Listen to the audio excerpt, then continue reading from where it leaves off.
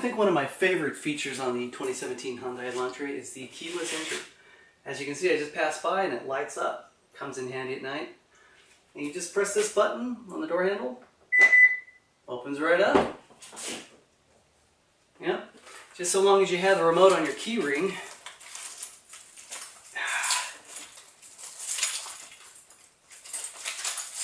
Key ring here.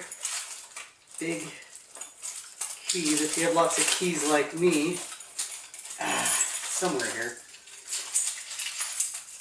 Yeah. The remote is.